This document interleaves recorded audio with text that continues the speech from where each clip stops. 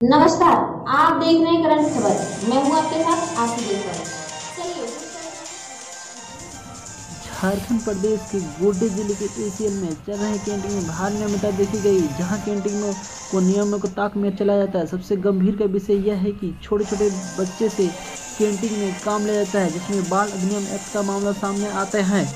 ACL के कर्मी ने कैंटीन के बारे में गुणवत्तापूर्ण खाना एवं भोजन नहीं देने पर विरोध किया। साथ ही बताया कि कैंटीन में गंदगी से भरे हुए दूषित धुआँ मिठाई सीमेंट रखा हुआ है। सोच दुर्गंध करते हुए पाया गया। आपको बताते चले कैंटीन में सीमेंट की बोरी धुआँ लगभग हो? गंदगी कैंटीन भरे हुई है। है? एसीएल में कंटिंग जो है?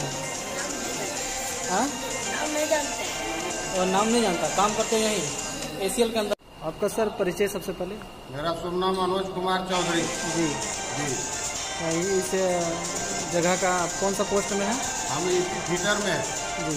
क्या सुविधा जैसे हम लोग पहले देखें यहाँ आए हैं? मेरा कैमरा में कैद हुआ सीमेंट रखा हुआ है कोयले से यूज़ कर रहा है जबकि गैस से होना चाहिए। मनमाना है जैसा कैंटीन होना चाहिए हम लोगों का वो वो व्यवस्था कैंटीन में नहीं है। साफ़ सफ़ाई के लिए क्या करना चाहते हैं? साफ़ सफ़ाई हम लोग क्या बोलेंगे? जैसे कि इन लोगों का अपना मन है हम लोग तो अपने से साफ़ नहीं कर देंगे इनको। सारा व्यवस्था इनको हुआ ये जो व्यवस्था देख रहे हैं कि ये धुआँ के लिए नहीं था इसके लिए गैस था। लेकिन गैस कहाँ हट गया और धुआँ से ही खाना बन रहा है। और बच्चा देखते हैं एक बच्चा काम कर रहा है कैंटीन में। मौजी है बच्चा अंडर नहीं होना चाहिए जबकि बच्चे को क्या करेंगे? हम लोग किसको बोलेंगे? हम लोग बच्चा को भी डरते हैं।